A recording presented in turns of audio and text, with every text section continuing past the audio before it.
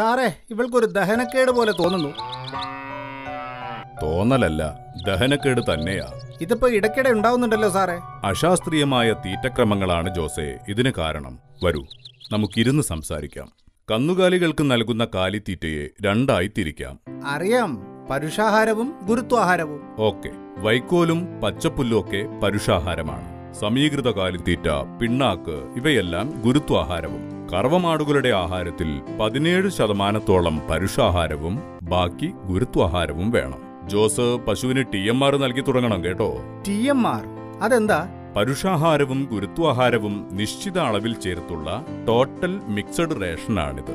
അഥവാ T M R. ഇതെങ്ങനെയാ ഉണ്ടാക്കുന്നത്? കറവമാടുകൾക്ക് ആവശ്യമായ പ്രോട്ടീൻ ഊർജം കൊഴുപ്പ് നാരുകൾ വിറ്റാമിനുകൾ ധാതുലവണങ്ങൾ ഈസ്റ്റ് ഇവയെല്ലാം കൂട്ടിച്ചേർത്താണ് ടി എം ആർ ഉണ്ടാക്കുന്നത്. ഇവ നൽകുമ്പോൾ പ്രത്യേകിച്ച് തീറ്റയോ വൈക്കോലോ നൽകേണ്ടതില്ല. യഥേഷ്ടം ശുദ്ധമായ വെള്ളം കുടിക്കാൻ കൊടുക്കണം. ഇതിൽ കൂടുതൽ പരുഷാഹാരം അടങ്ങിയതുകൊണ്ട് അസിഡോസിസ് പോലുള്ള രോഗങ്ങൾ വരാതിരിക്കാനും പാലുൽപാദനം കൂടുവാനും പാലിലെ കൊഴുപ്പ് കൊഴുപ്പിതര പോഷകങ്ങൾ എന്നിവ ഉയരുവാനും ടി എം ആർ സഹായിക്കും. മലബാർ മിൽമ പാലക്കാട് പട്ടഞ്ചേരിയിലെ സ്വന്തം ഫാക്ടറിയിൽ നിന്നും എം ആർ ഡി എഫ് മുഖേനയാണ് ടി എം ആർ ഉൽപ്പാദിപ്പിച്ച് ക്ഷീരസംഘങ്ങൾ വഴി വിതരണം ചെയ്യുന്നത്